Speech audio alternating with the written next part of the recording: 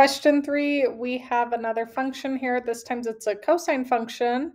We still call that a sine function though. It's a shifted sinusoidal function. So we're still going through everything that we've been doing. I'm going to write in our general form. So it's y equals a cosine of bx minus c plus d. So a is how we find the amplitude. We take, oops, didn't want to do that. A is how we find the amplitude. We take the absolute value of A. So the absolute value of negative one third makes it positive. So our amplitude is positive one third. And then we'll just go through the rest of the letters. So B is what's next to X. It's 2 pi.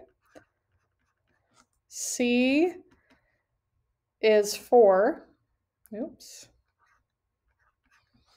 So remember the negative is part of the function. We're just taking the number.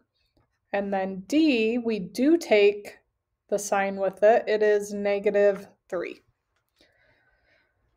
So that's the midline. The midline is equal to y equals d. So it's y equals negative 3. The period is equal to 2 pi over the absolute value of b. So 2 pi over the absolute value of 2 pi. The absolute value is 2 pi, just 2 pi. So 2 pi divided by 2 pi is just 1. And then our phase shift is c over b.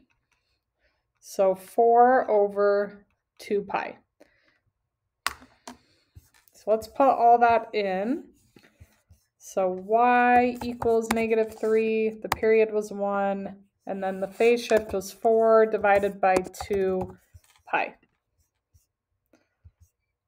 And we could have reduced that to 2 over pi. I should have. But I, I knew it would take it unreduced, so I just left it like that. So you've got options there. It'll still mark it right, even if you don't reduce.